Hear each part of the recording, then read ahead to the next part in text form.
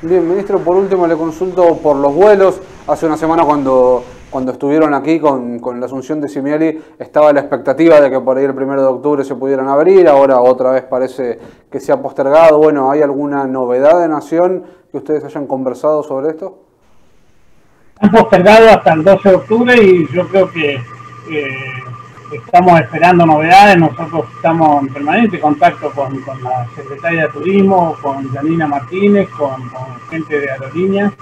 Este, todavía no tenemos novedades, eh, pero eh, sí lo que tengo como novedad es que el gobernador estuvimos charlando sobre este particular y, y bueno, como está decisión de los gobernadores, el incluir eh, las provincias en los vuelos, el gobernador tomó la decisión de que en, una apertura, tanto el aeropuerto de Terleu como el de Esquel, como el de Comodoro, al menos tenga un vuelo semanal y eh, en función de la demanda que tenga, ir incorporando más vuelos. Así que si hay una, decisión de la, del gobernador de, incluir en el calendario de vuelos desde el inicio a, a.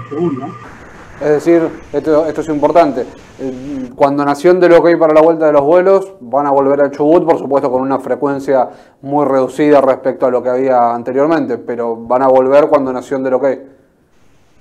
Cuando Nación del OK, el gobernador tiene la decisión de, de incluir los aeropuertos de Chubut este, y con una frecuencia controlada y después ir avanzando en función de la demanda que haya y de, las medidas de seguridad que se implementen. Pero eh, queremos, cuando se reinicie aerolíneas, reiniciar nosotros en Perú también con, los vuelos.